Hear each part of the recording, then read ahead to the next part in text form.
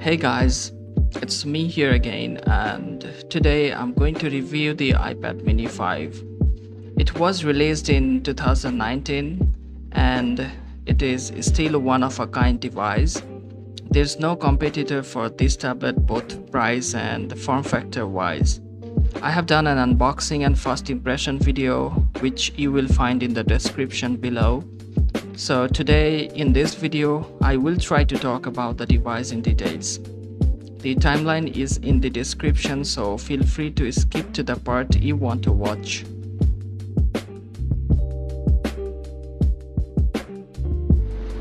I got it for 415 bucks including shipping cost which is a bit more than usual but I had no choice in this pandemic time. The iPad lineup is so vast these days, you can get an iPad of your choice at almost every price point like the base iPad which starts at 329 and there are a few second-hand deals as well but the 32 gigs iPad is not for me it has got a non-laminated display plus I don't prefer the size for gaming. Before buying I was confused about the design as it has got the same design as the iPad mini 4 and it looks outdated to be honest.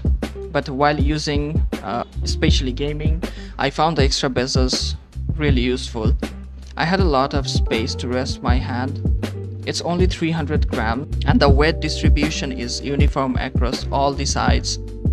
The front has a touch ID and a 7 megapixel camera. There's two bottom firing speakers and a lightning port. There's also a 3.5mm port at the top corner and the power button is at the top right. The right side has got the volume rockers at the top and there's nothing at the left side. I will suggest you guys to get the space gray variant as it has a black front which looks better because it hides the bezels. The back has a 8 megapixel camera which I will talk about later in the video. The display is a 7.9 inch IPS LCD panel with 324 ppi pixel density. Its resolution is 1536 by 2048 with a 4 3 aspect ratio. The max brightness is 500 nits and using it on direct sunlight is possible as well. It also has True Tone and P3 wide color gamut. See, it's not a bad display by any means, but I'm used to Samsung Super AMOLED displays, so the blacks on this display look a bit grayish on my eyes and the colors are also dull compared to, you know, the Super AMOLED Samsung panels. But for a tablet display, it's a win without any doubt. The speaker is very decent but nothing crazy like the iPad Pro or the Samsung Tab S7 Plus as this iPad mini 5 doesn't have a stereo speaker system. Let's have a listen to the sound of the speakers by yourself.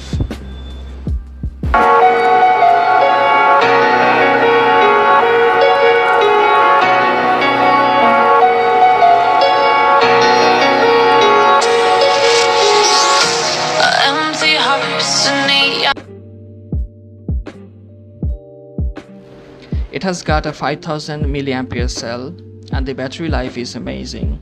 If you don't game on it, it will easily last for 2 to 3 days. But you know, I play a lot of PUBG and my gaming sessions are mostly 2 to 3 hours and I record my gameplay so after doing everything I always end up having 25 to 30% left. The charging takes a long time though and it takes around 3 hours to charge from 0 to 100 and it also supports a 18 watt fast charger. So if you need to charge it quickly go for it. But i'm fine with the 12 watt charger which was in the box. I might do a detailed battery test in the future. So at this point don't forget to like the video subscribe and hit the bell icon so that you never miss an update. I will appreciate your support. I just love the size of this tablet. Previously I have used a similarly sized Nexus 7 so I'm familiar with it It even fits into the pockets of my joggers, but it doesn't really fit into my jeans. But hey, who carries a tablet on their pockets, right? The typing experience is so good because I can type like a phone in portrait mode and splitting the keyboard helps a lot. It might not be the ideal tablet to take notes, but it's always good to have the support. Speaking of which, the iPad mini 5 supports Apple Pencil Generation 1. I didn't get it because I don't really need it now, but maybe in the future I'll get one. I don't want to take notes on my iPad because I prefer taking notes the traditional way. Even though it's small, I never had issues participating online classes. The compact size is both an advantage and disadvantage, which is funny. So you just have to know about your preferences before getting an iPad. But I got it both for gaming and online classes, so it's a win for me. The selfie camera is decent enough for video calls, but the back camera is so bad. There's so much noise in the pictures and there's no 60 fps video option. But I'm missing a flash so badly. See, we don't use our tablets to take photos all the time. The most use case scenario of an iPad camera for me is scanning documents and without a flash it's not clear enough. But I would have bought this device even if there was no back camera you will get your job done in emergency situations, but hey, it's not bad to want something from Apple, right? Maybe in the iPad mini 6 they will include a flash.